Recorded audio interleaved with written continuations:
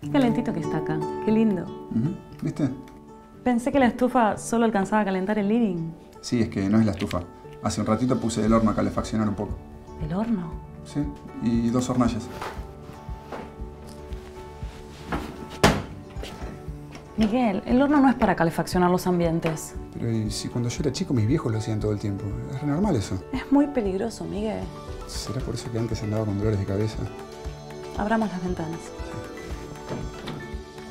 El horno y las hornallas no están diseñados para calefaccionar el hogar. Su uso indebido puede ocasionar una intoxicación fatal.